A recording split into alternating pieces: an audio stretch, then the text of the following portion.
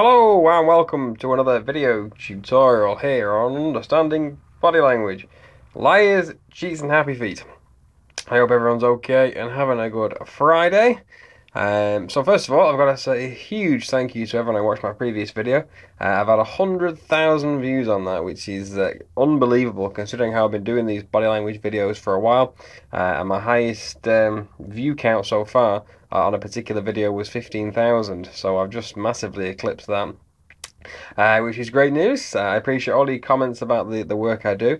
Um, so I'm very appreciative of that. So, what I've got for you now is the other segment to this interview that I covered uh, on Monday with Mariah Yeater and this baby that Justin Bieber is alleged to have fathered. Um, so, what we're going to do today is we're just going to start the video at the beginning. I'm not going to play it through because I've not got enough time to play it through and then analyze it because I've got to get to work.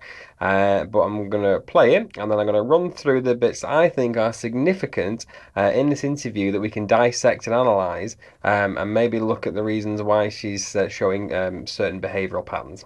So what I'm going to do for you is going to press play and then we're going to watch and then we're going to analyze. So here we go. I want to show you what Justin said on the Today Show this situation. Is that okay? Yeah. Okay, here we go. There is a pretty white hot spotlight, and you Of found course. yourself under it recently. Yeah. Some headlines or someone has I filed a paternity suit Exactly. saying you're the father of a three-month-old son. What would you like to say about that? I'd just like to say basically that none of those allegations are true, and, and I know that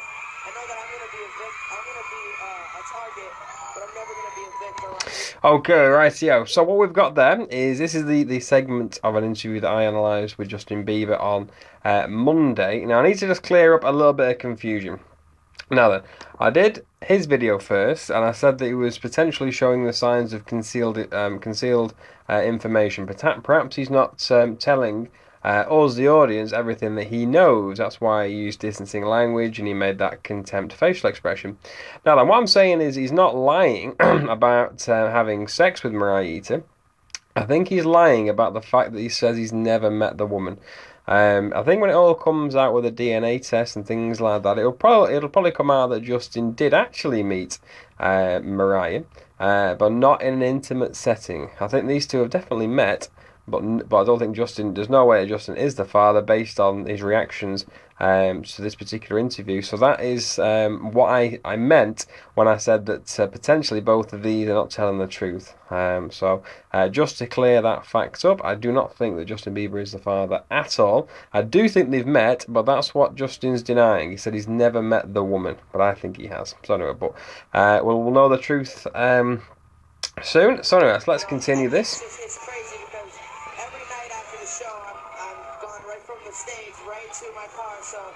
It's crazy that some people want to make up such false allegations, but set the record straight, none of it is true. You know this woman? Okay, rightio. So this particular expression here is a massive distress signal. It's where the hand comes right across the mouth to make a, a self adapter. Um, and then what we can see now is the head and eyes dip down. Um, so we don't want to make eye contact with what we're seeing that's uh, making us feel pain. But the whole thing just looks terribly acted and forced. Watch it again. When people show real distress and real hurt, they will not go through this particular movement here and then down. It looks very forced and very strange.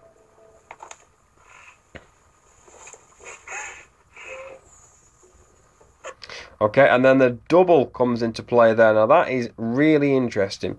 Now then, normally when we feel a really strong emotion, often we'll just place one hand on the side of the mouth or the nose or the eyes to make a blocking technique.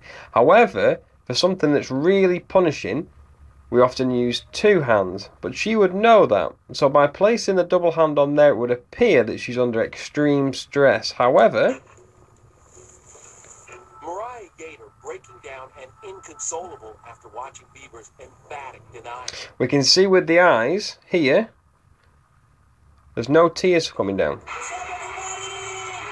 So she's, I think she's trying to make herself cry, but it's not coming off. Let's just watch that section back here. And inconsolable after watching And this is called attempted behavioral control.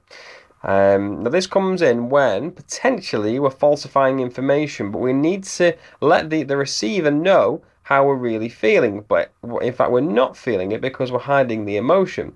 So, what we're using here is an example of behavioral control. However, the actual physiological aspects of this would be to be crying, but she can't control that because it's often quite difficult to make yourself cry in in this in this environment.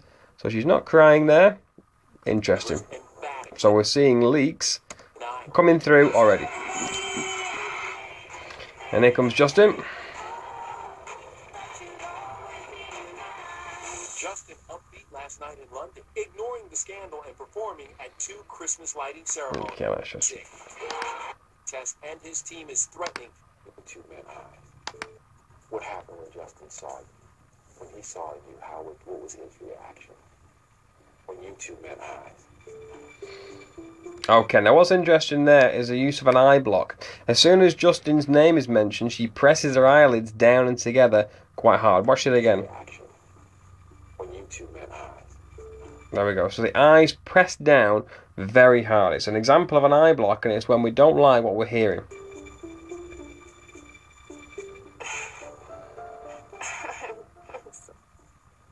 Okay, and what there is, that could be a partial confession because that is not a difficult question. You two met eyes. So listen to the question. Legal action against Yeater. What happened when Justin saw you? When he saw you, how it, what was his reaction? So what was his reaction? When you two met eyes. Just to think. So she's just about to say I'm sorry, and then the hand goes down. Okay, and the uh, the tissue goes to the nose. So what's she sorry about? These are not difficult questions. These are easy questions, but we just need easy answers to them. But she's finding it very difficult to create an answer here. No, it's okay. It's okay. It's a lot. Take your time. It's hard. Uh, I'm speechless. So I'm speechless.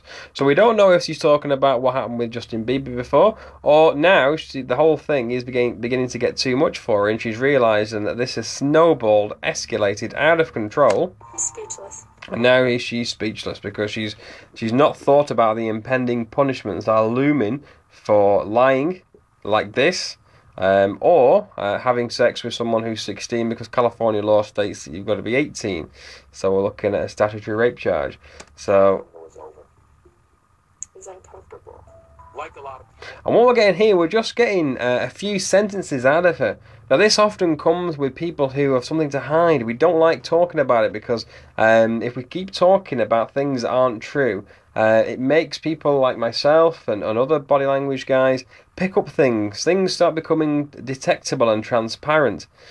So that's why she's only given a few things away because in that case we don't, we've not got that much to analyse. So that's why these short answers are coming in. Story or public doubts may be the least of her problems. Is there any concern because there has been some talk that the LAPD may launch an investigation into this case and say that because you were 19 and he was just 16, that you may be charged with a misdemeanor. Are there any concerns about being prosecuted over having sex with a 16 year old? Concerns, most definitely, yeah. We can see here with the furrowing of the brow that she is concerned about it. With a 16 year old. Which eyebrows? Concerns. Come down and together. Yeah. I mean, especially when.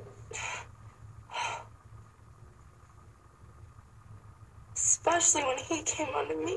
Now then, what's interesting there is the time it, took to create that answer. That th- that uh, um, information there, that sentence was not um, fluent. It was had pauses, and what's interesting to note here. Concerns, most definitely. Now then, watch this. I mean, especially when. Okay, now watch that. that that's a micro expression flash. I mean, especially when. There you go. Especially when contempt. So we've got muscles working in pairs again. We've got the zygomatic uh, major, and we've also got um, the buccinator muscle, which is controlling the action of contempt. So we can see it here on one side. Do some research on contempt on micro expressions. And again, so look at that particular facial expression. Note how internally there she'll have thought of created something in her mind. okay, which is incriminating to Justin Bieber. Watch it And again. especially when, Contempt. Pause, down, thought of something, eyes light up. especially Contempt again. he came onto me. Look at that. Where's that passage of play. So we go from contempt, especially when, eyes light up, she's thought of something. There you go, I've just thought of something, the eyes go this way. I know, I'll just say this, and then especially when he came onto me. and then the voice breaks. She tries to make that distressed micro expression. Especially when he came onto me. Unfortunately for Yeater, the age However, that whole thing there looks terrible because it doesn't look like she's t- she's recalling truthful information because she's flashing contempt. The eyes light up, they dart slightly to the left. I'm not a big believer in eyes going left, up, right, down to access feelings and emotions and uh, and noises and things like that. Disregard that. I think that passage of play there, that segment, that segment of the interview, is very Unfortunately for Yeater, the age of Very in interesting to know. California is not 16, it's 18. Will your attorneys handle that case also, if there is, if you are prosecuted? Of course, of course they, yeah. So of course, of course, they. Oh, oh yeah. Prosecuted. So she's not confident enough to give a a confident delivery there. We see a speech error. Of course, of course they, yeah. She's like, oh, I'm not actually sure now. Oh goodness, I've not really thought about that. so here comes Justin. What do you think would be Justin's reaction if he could see him, hold him, touch him, reach out and see that I- baby? Rather not answer that. Do you hope that Okay, so let's just continue this. Getting myself into really, yeah, this is, this is a lot. after the court date and Justin take this DNA test, will it prove hands down that that is his baby? No questions about it. Now that is not a confident delivery. Note how she hides the lip there. Will it prove hands down that that Okay, that's a lip bite, or an example of pressing the lips down and together to try and hide them. Not a good sign. It's not a good indicator of confidence. No questions about it. I took this case. Okay, so we don't need to Send see this one. right now to Justin? What message would you send to Justin? What would you say to him? Oh, I, I can't, I can't. Okay, so let's start that question If again. You could send a message right now to So the question is, if you could send a message now to Justin, what would it be? What message would you send to Justin? What would you say to him? Okay, so the lips come down and press down and together. So the lip, the lip movement here, the lip behavior is significant. We press the lips down when we're trying to think about something or trying to create something. It helps us aid the brain. So the lips come down. We're trying to think. Oh, I, I can't, I can't do this right now. I don't, yeah, it's, I'm sweating, I'm, I'm very nervous. I'm very nervous. So the eyes dart all around the room and she's very nervous. So the reason why that is, is because of the autonomic nervous system, which is a branch of the sympathetic nervous system. So there's two there's two types, there's parasympathetic and the sympathetic. So the sympathetic nervous system raises everything internally in the body. Things we have no control on, that's why they're automatic. So like increases in heart rate, breathing rate, um, sweating, skin conduction, um, things like that, increases in blood pressure. So things we cannot alter, and sympathetic arousal comes in with increased stress.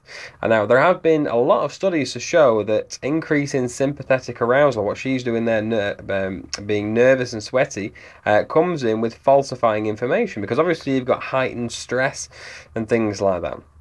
So her stress levels are going through the roof. So internally, her blood pressure and her heart rate are flying. So it's making it difficult for her to think things on the spot. However, don't forget what we said about the truth, about what Mark Twain said. The good thing about the truth is you don't have to remember anything. It's all there in the mind, and you can relay it back, forward, inside out, in any order, and it will be perfect because what you're recalling actually happened. However, also what's interesting to note is um, when she uh, walks off the set in a moment, um, it's very interesting to know that people, a lot of people do that to try and create answers while they're out there. However, did you know this? That when we uh, are often uh, are under cognitive load, which means we're trying to create something, our blinking rate will decrease because our brain needs to think about something and focus on it and then try and relay it as if it was true, try and get our non-verbal behaviors in the right pattern as well. So our blinking rate decreases. However, with sympathetic arousal, what she's feeling, her blinking rate will massively increase because blood pressure is going higher, heart rate's uh, a lot stronger, so the body is getting more blood, especially to the brain, to try and create some new information. So that goes bypasses the eyes, and that's what makes them flutter. So don't believe that eye blinks and eye behaviour uh, alone are indicative of anything because they, they cancel each other out. Sympathetic arousal means they'll blink more, but increased cognitive demand, i.e., thinking or creating information, means the blinking rate will go a lot less. So don't forget that. Can, please. This is- Okay, so she's she can't think of anything to say, anything credible to say, and she's off. And look at this. When Mariah returns, baby Tristan is being held just a few feet away. Okay, so there we go. So there's the baby in question. For a moment, it's a welcome, comforting distraction, but her mood shifts when I ask about what happened just before her alleged sexual encounter. Her claim that she and a group of girls first met Justin after the concert in a special VIP room that he picked her over the others. Okay, now this bit is very, very significant, I think. that were in that room substantiate his story.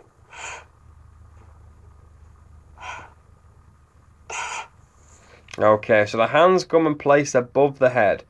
Okay, for me that looks like a massive gesture of shame. So she's ashamed now. Now, if I was conducting this interview, I might press for a confession here because we're seeing signs uh, of weakness coming out now with Mariah. We're seeing no signs of confidence. We can see she's in a terrible mess. I'd have, I'd have picked up on all these micro expressions, so I would have tried and get a confession out of her now because she's very vulnerable. And this cannot go on any further, and she knows this.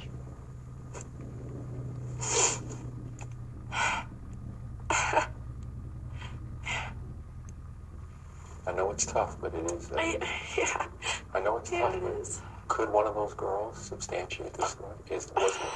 Could one I, of them? give me one minute. Let me pause it there. So the reason why this lady is really struggling on this question is because when people lie, they hate other people being involved. Because this lie is often about just this lady. She doesn't want to bring anybody else in there because she knows full well this this information that she's relaying never happened. And if somebody else is brought into the equation, you'll have inconsistencies in the story because if you just created this out of thin air not told anybody, then nobody else is going to know your story. And that way, the lie then will start becoming increasingly detectable with other evidence. So she might not, might not longer be uh, be credible, but somebody else might be, and that's what she's afraid of. So that's why she doesn't say yes or no, because if she said if somebody else can verify your story, all you've got to do then is just to go back to October last year, find out who she went with. There'll be records of people in the VIP area, and then just ask them. But because potentially this never happened, those people then will, will claim that she's a liar, and she doesn't want that, you see? And that's why she's showing extreme stress here. Because she knows now that this is no longer about her. Her lies now can be detected by other people. She can't give a credible answer, it's tough, but it is. Uh, I, yeah, and and she's the eyes are darting. this story? Is was it? Could one I, of them? give me one minute. and then give me one minute. The gestural retreat, and then that little gesture there. I don't know if you can see that. It's where the hands go to the back of the head. And now that is massive distress. It's like, oh, I can't believe it. We often show that particular expression at a football game. Um, when when someone's just about to score but he misses, the hand goes straight to the head in distress, in anguish. I can't believe it. However, she's showing anguish and distress walking off. So she can't think of a credible answer. A because the story never happened. B the um, the interviewer is, is suggesting we will bring somebody else in there to verify the story, which she doesn't want because potentially liars only fabricate the story for themselves. They don't think about other people, and other people can are, are used um, to help uh, spot the lie. So she's off, Now tomorrow, what and there you go. So that's a, an interesting end to that uh, to that little segment. So it's interesting to note uh, that those who lie or are guilty, they must carry the knowledge of their lie, which makes it difficult for them to achieve comfort. So Mariah Yisa here, if we spot all the the um, the non-verbal behaviour we're seeing here. So Mariah is finding extremely difficult to achieve comfort throughout this interview, and that comes with harbouring guilty knowledge or potentially lying. So we can clearly see the tension and the distress leaking out through Mariah. She's not comfortable to an easy question. In a special VIP room that he picked her over the others. So don't forget that attempting to disguise guilty or um, lying or, or, any kind of knowledge that you're not talking about, any kind of concealed emotion, puts a great uh, strain on the brain. Massive strain on the brain. So increased cognitive load or increased cognitive processing. She's trying to think of something, so she's got a great strain on there. So she's she's she's struggling to fabricate answers to what are just simple questions. It's a very simple question. She's really struggling because of the guilty, potentially the guilty uh, knowledge that she's harbouring. So tension and distress are leaking out. She cannot achieve comfort, which someone in this position, if she was confident in delivery, would be very confident and relaxed and comfortable. We're not seeing any of that. So she's struggling to fabricate answers to easy questions or simple questions, and that's why we see another gestural retreat. We see a shame here, and then she's off, and the hands go to the back of the head. Watch how she gets up here. So the eyes dart. We're seeing a lot of lip behaviour again. Could one of those girls substantiate this? She's like, oh my goodness. And she's off. So we're off to make another gestural retreat. The hands clasp the back of the head. And she's off. So there we go. Um, so there you go. So that's the second part of this video done on uh, Mariah Yeater. uh, again, she's seen we're seeing more signs of stress come out through this video. Uh, we're seeing a lot of contempt, one-sided facial expressions coming in with the the zygomatic major uh, and the buccinator muscle pressing that mouth wide when we feel smug. Interesting to know that Justin Bieber also made that particular facial expression, which is universal. Out of 10,000 facial expressions uh, our face can make, we've got 43 muscles of the face. Seven expressions are universal, meaning we'll make, we'll make them um, all over the world, no matter where we are. Facial expressions of emotion are the closest thing we have got to a universal language. So please bear that in mind. So micro expressions such as contempt are universal, meaning everyone around the world, no matter about race, gender, gender, age, um, demographic value, anything, anyone, anything like that, will all make those seven micro expressions, which are which are covered in my other videos um, on my YouTube page. So there we go. So that's another video tutorial done here on understanding body language liars, cheats, and happy feet. If you're interested in learning about more about body language, then please check out my understanding body language page. It's like liars, cheats, and happy feet. Uh, please click that video. Uh, please click that link, I should say, and help support my page. Uh, and there you go. So that's the other video taken care of here by by Mariah Yeater. Again, we're seeing signs of stress that come out. Um, what I try and do here on these videos is educate you on uh, the actual science behind body language. There are loads of myths associated with body language, like eyes going up, up and left, up and right, things like that. Disregard that because there's, there's been no research done on that particular theory. What I teach you is things that have actually had science and research um, validate um, those kind of things. So everything like um, from work from like Joe Navarro, Paul Ekman, Aldert Vrij, things like that, things that have actually been researched. I try and teach you about because I think it's important uh, that I clarify the, um, the, the truth about body language and try and uh, get rid of some of the myths that people have. Um, so my intention here is to try and educate you on the actual science behind body language and not these ridiculous myths that have come in over the years. So there you go. So from everyone here, understanding body language, liars, cheats, and happy feet. I do hope you enjoyed that video tutorial. Uh, thank you for your comments about my accent. Yes, I am British. Uh, and no, I am not James Bond. so there you go. So everyone here at Body Language, take care and bye bye for now.